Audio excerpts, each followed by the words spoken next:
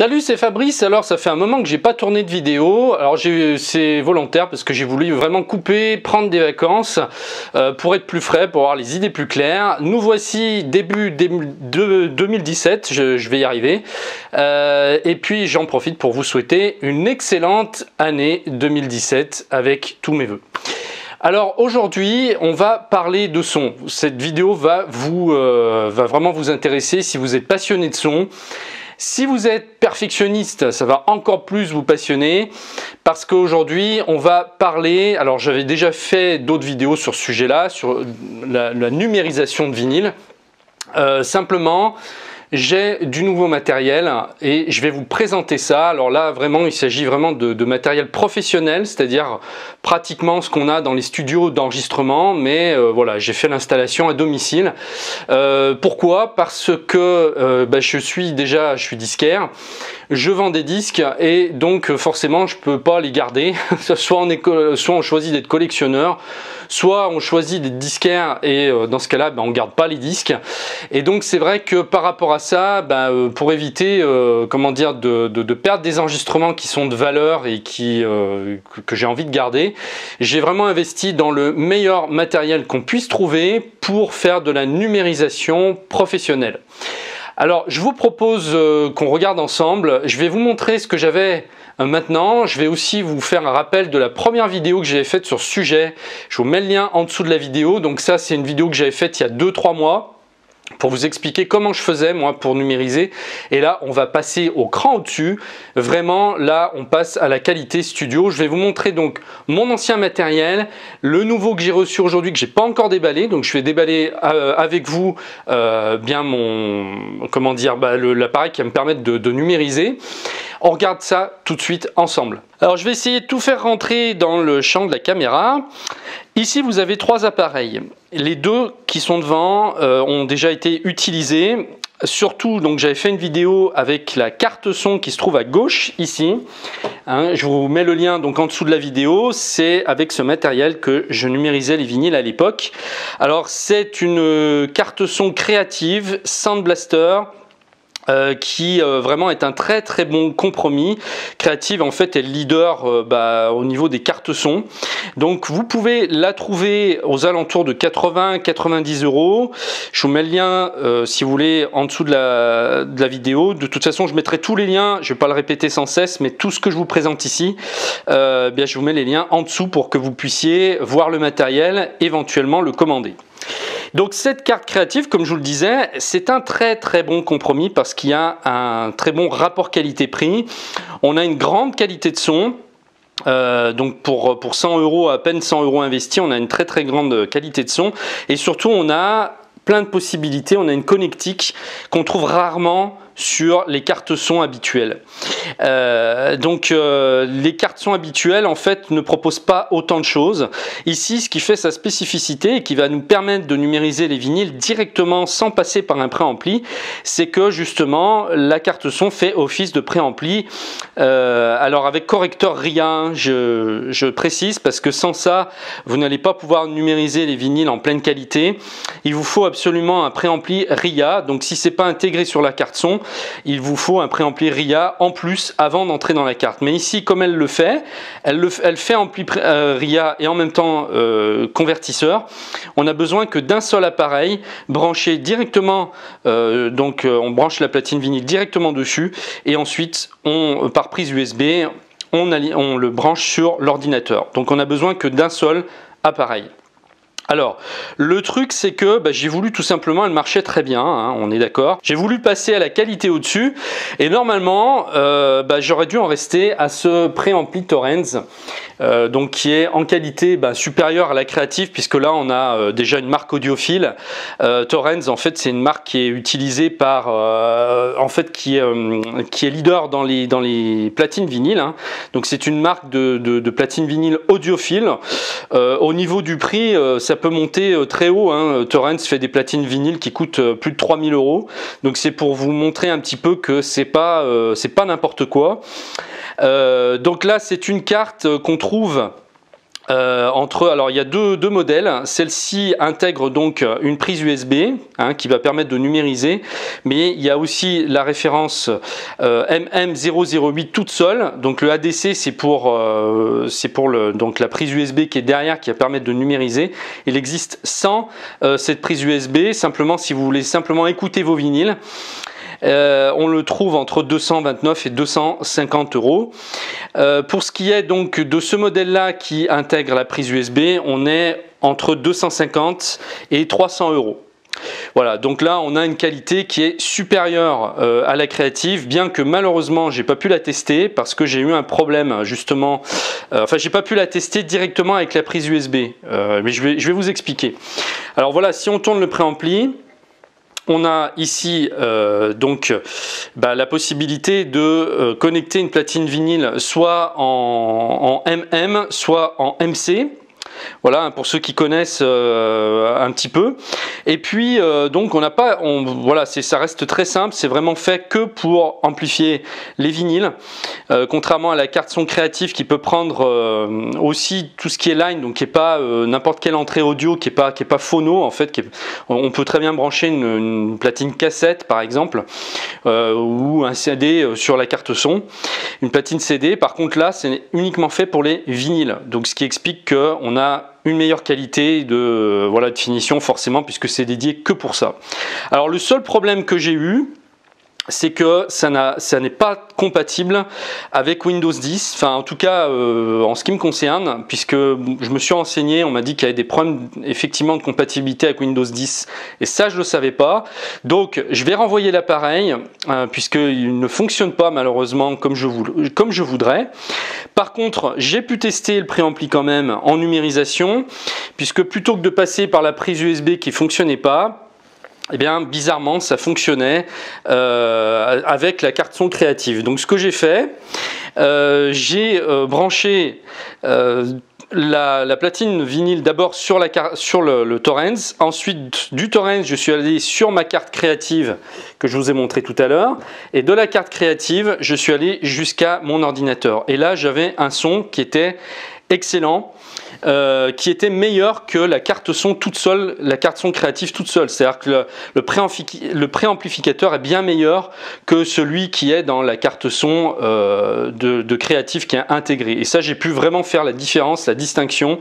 On a un bien meilleur son préamplifié avec ce Torrens et euh, branché après sur la créative, on avait vraiment un résultat qui était déjà très très bon, voire excellent. Alors, ce qui pourrait être intéressant, c'est peut-être vous faire écouter des extraits. Alors, je faut, faut, que je fasse attention euh, avec les droits euh, de la SACEM. Hein. je, vais, voir si je peux le faire ou pas.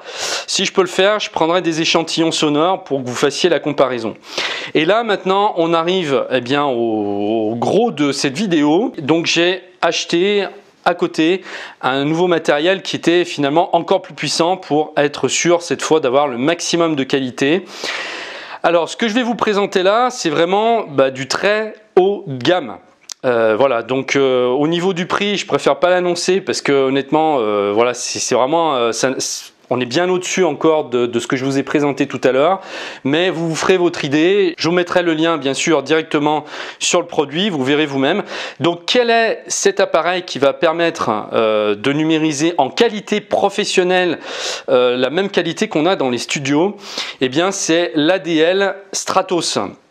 Alors je vais vous le présenter, on va le déballer ensemble. Alors il y a eu des modèles précédents hein, pour ADL, notamment l'ADL GT40 qui était une des premières références à pouvoir justement euh, bah, numériser les vinyles. Ensuite ils ont fait un second modèle qui a été amélioré qui s'appelle l'ADL GT40 Alpha avec lequel on obtient déjà d'excellents résultats et là eh bien c'est vraiment le haut de gamme, c'est le Stratos. Euh, bah, donc là c'est euh, quasiment un des, des meilleurs on va dire euh, convertisseur qu'on est pour les vinyles euh, au monde, euh, puisqu'on va pas pouvoir trouver au-dessus, difficilement au-dessus. après, il va falloir aller peut-être dans les, dans les studios d'enregistrement. Encore, c'est pas dit qu'on ait un meilleur résultat. Justement, moi, je vais le tester et je vais vous dire ce que j'en pense. on va le tester ensemble. Hein. je vais carrément filmer, je vais l'installer et puis ensuite on va faire un test et je vais vous dire vraiment si cet ADL Stratos vaut son prix. Alors, j'ai profité en même temps pour changer, j'en ai profité pour changer en fait ma cellule. J'utilisais avec la créative une excellente cellule orthofond qui est la 2M bronze en PNP. Donc c'est il y, a qu'Orthofond qui fait ça à ma connaissance, c'est-à-dire que vous achetez carrément euh, tout le, toute le porte-cellule et la cellule avec. Alors vous pouvez acheter euh, la cellule toute seule et euh, donc la visser directement sur votre porte-cellule. Mais par contre, pour avoir un meilleur résultat encore, eh bien, Orthofon fait ce, porte-cellule intégré donc qui va permettre d'enlever en fait tous les parasites. en fait, le porte-cellule est fait dans un matériau spécial qui va permettre d'éliminer toutes les vibrations donc pour euh, une cinquantaine d'euros de plus, euh, vous allez avoir carrément ce, porte-cellule avec la cellule euh, plug and play directement que vous allez pouvoir visser sur votre bras de platine. Et là, vous, n'avez pas besoin de faire, des tests ou de, de régler en fait le porte-cellule et la cellule. Le réglage est déjà fait à l'usine. Comme ça, vous êtes sûr d'avoir le meilleur résultat possible. Donc la 2M bronze euh, orthofond est déjà excellente puisque là on tape vraiment déjà dans, les, meilleures euh, cellules MM qui existent aujourd'hui. Et j'ai voulu pousser le vis euh, plus loin. Enfin, voilà, c'est ça, c'est mon côté perfectionniste pour avoir le meilleur rendu possible c'est on est passe encore au-dessus donc cette fois c'est la black. C'est quasiment la meilleure cellule MM qu'on a actuellement au monde. Euh, après euh, si on veut euh, avoir au-dessus taper dans le plus cher on va avoir des cellules MC mais enfin là moi je vais m'arrêter là hein. c'est à dire qu'il y a très très peu de chances que j'achète un jour une cellule qui sera au-dessus de celle-ci. Elle fait même mieux que certaines cellules MC d'après les tests qui ont été faits donc c'est pour vous dire. Mais on va tester tout ça de toute façon. Voilà. Donc euh, allons-y, on va ouvrir le, Stratos. Alors euh, juste pour un petit renseignement, donc j'utilise euh, une Technics M 5G comme platine. Donc c'était comme la MK2 mais qui a été montée en gamme. donc il y a encore un meilleur bras. Enfin voilà, c'était vraiment optimisé. Donc c'est une MK2 optimisée. C'est le dernier modèle qui a sorti Technics puisque bah, Technics ne sort plus cette platine depuis 2010 malheureusement. C'était une des meilleures platines qui était utilisée par tous les DJ et qui était euh, au départ euh, normalement faite pour les passionnés de son. Euh, c'était une platine audiophile avant d'être utilisée par les DJ. Donc allons-y, on va ouvrir le, le Stratos. Alors au niveau des... au niveau de la numérisation, on va atteindre des sommets avec ça. D'ailleurs, c'est même trop par rapport. Enfin, je veux dire, j'ai pas besoin d'une définition comme ça, puisque bon, euh, on peut euh, monter. Enfin, elle peut carrément numériser en DSD. Donc, je ne vais pas rentrer dans les détails, mais on, là, on a ici. Enfin, je vous mets le lien de toute façon. Vous irez regarder ce qu'elle peut faire. Donc là, on peut enregistrer en PCM 24 bits, 32 bits, jusqu'à 384 kHz. Enfin, c'est énorme, c'est vraiment énorme. Et je ne vais pas du tout utiliser ça avec le vinyle parce que le vinyle ne demande pas autant. Euh, enfin, le vinyle. Euh, quand vous le numérisez, c'est pas la peine d'avoir des résolutions de malade. D'ailleurs, il y a même des ingénieurs du son qui vous diront qu'il vaut mieux numériser en 16 bits parce qu'après on va avoir une déformation, on risque d'avoir des distorsions. Bah ça, euh, voilà, je ne vais pas rentrer dans les détails, on va déjà déballer. Voilà, alors euh, ici on a quelque chose d'assez spécifique. On a une télécommande. Euh, alors voilà le, la télécommande avec la notice et le cordon USB. Donc une télécommande pour ce, préampli, hein, enfin ce DAC plutôt, puisque c'est pas seulement un préampli. En fait, sa spécificité, c'est qu'il fait à la fois DAC, préampli, fait numérisation de vinyle. C'est vraiment un couteau suisse. Euh, c'est vraiment le couteau suisse du mélomane aujourd'hui. Voici la bête. Alors j'avais lu qu'il était assez petit, mais en fait je voyais plus petit que ça. Il n'est pas si petit que ça. Euh, il est déjà bien plus gros que, le, Torrens. Hein. Je vais le comparer en taille euh, avec le Torrens. Voilà. Donc euh, vous voyez que ça n'a pas grand chose à voir. Celui-là est à peu près deux fois et demi plus gros. Euh, il fait quand même euh, son poids. Hein, et on voit, bon, bah, on voit tout de suite la qualité au premier coup d'œil. Donc c'est très simple, hein, il n'y a pas 36, 36 trucs, hein. en fait il n'y a même pas d'autres cordons, il y a juste le, fil pour relier, donc l'USB pour relier à l'ordinateur, la télécommande, il y a bah, évidemment le transfo pour le brancher sur le courant, mais il n'y a rien d'autre. C'est-à-dire que là, on est vraiment dans la sobriété la plus totale. On n'a pas de cordons qui nous sont donnés à côté ou quoi que ce soit. Donc voilà, donc je vais l'installer euh, bah, vers, euh, ma platine et vers mon ordinateur. Euh, on se retrouve bah, tout de suite après, je vais vous faire voir. Allons-y, donc on va câbler le Stratos. Alors, pour ceux qui ne connaissent pas bien, il faut relier d'abord la première chose donc la platine vinyle donc sur phono. Enfin ça c'est pas très compliqué. Alors il y a l'alimentation qui est qui est déjà mise. Allons-y donc sur phono. En respectant droite et gauche bien sûr. Le rouge pour la droite le blanc pour la gauche ensuite on va pas oublier la masse qui est très importante Hein, vous le branchez, ça, fonctionne exactement comme sur un ampli, hein. euh, comme sur un préampli. On branche la masse. Et puis le petit plus que j'ai par rapport bah, aux autres préamplis, c'est que je vais pouvoir brancher aussi une, ancienne platine cassette euh, voilà, pour faire des numérisations. Si je veux récupérer des vieux enregistrements qui avaient été faits sur, euh, sur cassette audio à l'époque, donc là c'est génial parce que je vais pouvoir faire les deux sur le même appareil sans avoir à débrancher les câbles à chaque fois. voilà, donc là, allons-y aussi pour la platine cassette. Donc il n'y a pas énormément de choses à brancher. Il y a juste ça, il restera simplement l'USB et ça sera OK. On va pouvoir le connecter sur l'ordinateur en espérant que il va le reconnaître assez facilement, que je n'aurai pas de problème de driver. Je vais vous dire ça. Allez, on le connecte sur l'ordinateur. Alors, je remarque que le câble USB est assez court, ce qui paraît logique.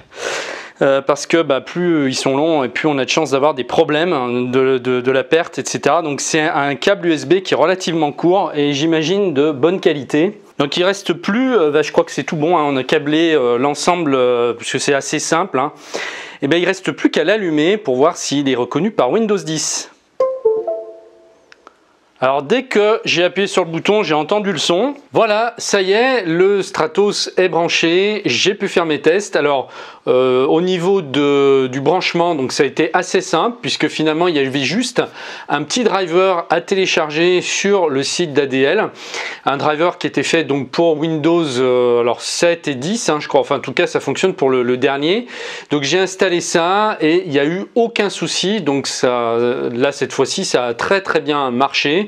Euh, donc c'est un driver qu'on peut, qui reste après dans la barre des tâches, donc on peut faire quelques réglages. Euh, donc en conclusion, ce que je peux dire, c'est que le son est assez bluffant, c'est assez extraordinaire. Il y a une différence énorme euh, avec bah, ce que j'ai pu essayer jusqu'à maintenant. Et au niveau des réglages, donc ça n'avait plus rien à voir. Il fallait carrément que je, fasse mes réglages d'entrée, de, volume, etc. complètement autrement, parce que le signal n'est pas le même. Donc bah, c'est déstabilisant au départ quand on est habitué avec, avec, du matériel qu'on a utilisé pendant longtemps. Euh, en tout cas, donc j'arrive euh, à, un résultat qui est bluffant. donc par rapport à la carte créative, on peut dire que le son est beaucoup plus profond. c'est comme, comme si en fait le, le son n'était pas bridé par rapport à ce que j'avais avant. On a l'impression en comparant, on se rend pas compte tant qu'on compare pas en fait. c'est vrai que quand, un, quand quelque chose est bon on le trouve pas, s'il n'y a pas un moyen de, comparer, on peut pas se rendre compte. Donc c'est au moment de la comparaison qu'on se rend compte que euh, sur la créative, ben, le son est bridé, on n'arrive pas au, même naturel euh, au niveau de la profondeur aussi, et puis la, du naturel des instruments, des voix, etc. Donc en conclusion, euh, ben, l'ADL Strato c'est vraiment génial. Alors il me reste encore à faire pas mal de réglages parce que c'est vrai que du coup on se retrouve avec du matériel, fait, plus on tape haut et plus fort forcément, euh, bah, ça devient sensible et bon, donc il y a plus de réglages à faire euh, que si on a quelque chose d'assez standard. Euh, donc je vais tester, je vais essayer donc de comparer des fichiers 24 bits euh, enregistrés en 96 kHz, ça sera le maximum que je ferai parce que je trouve ça ridicule en fait d'enregistrer au-dessus. C'est-à-dire que de faire du 192 kHz pour du vinyle, enfin je trouve ça enfin ça sert à rien du tout. Donc je vais comparer surtout le 24 bits avec le 16 bits et éventuellement je referai une autre vidéo pour vous dire ce que j'en pense. Et puis je vous à très bientôt dans une prochaine vidéo. Je vous remercie de m'avoir suivi. Au revoir.